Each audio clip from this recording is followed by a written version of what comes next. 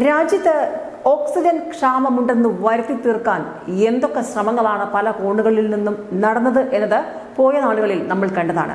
എന്തിന്? ചില സംസ്ഥാനങ്ങൾ ചില സംസ്ഥാനങ്ങളിലെ മുഖ്യമന്ത്രിമാരുടെ ആസൂത്രിതമായ നീക്കം ചില ജിഹാദി മാധ്യമങ്ങൾ എന്തിന്? ലിബറൽ മാധ്യമങ്ങളുടെ ചില നിലപാടുകൾ കേരളത്തിലടക്കം പ്രമുഖ മാധ്യമങ്ങളടക്കം ഘോരഘോരം നിലവിളിക്കുകയായിരുന്നു. ഡൽഹിയിലെ ഈ ക്ഷാമം കണ്ടിട്ട് എന്ത് ചെയ്യണമെന്ന്. പക്ഷേ ഇപ്പോൾ കള്ളങ്ങൾ ഒന്നായി പൊളിഞ്ഞടുങ്ങുകയാണ് സത്യം.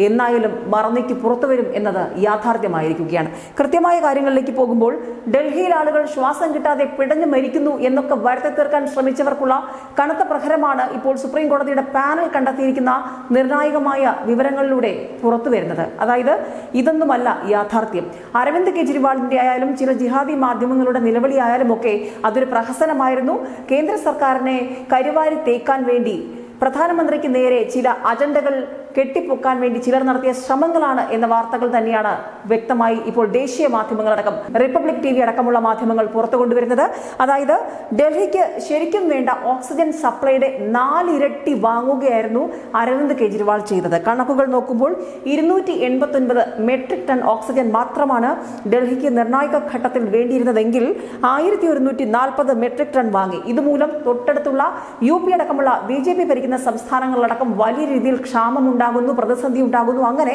പ്രതിസന്ധിയിലൂടെ കേന്ദ്ര സർക്കാർ ഒരു പരാജയമാണ് എന്ന് വരുത്തി തീർക്കാൻ ഒരു ശ്രമം നടത്തുകയായിരുന്നു ഒരു വിഭാഗം.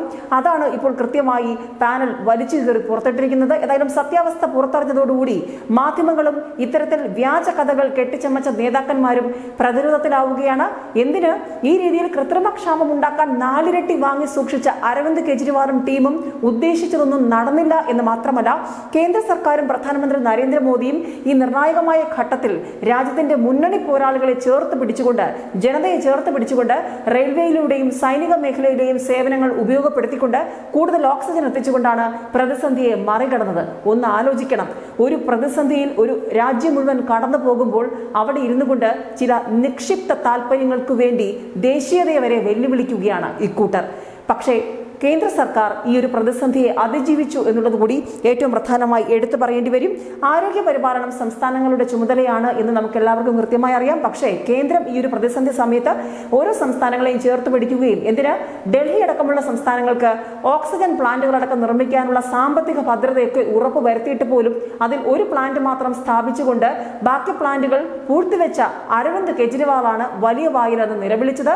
അതിന് കൂട്ടുപിടിച്ചുകൊണ്ട് കുറെ മാധ്യമങ്ങൾ രംഗത്ത് വന്നത്. ഏതായാലും ആ സത്യങ്ങൾ എന്താണ് യഥാർത്ഥ സത്യം എന്തായിരുന്നു കള്ളമെന്ന് ഇന്ത്യ ഇപ്പോൾ തിരിച്ചറിയുകയാണ്.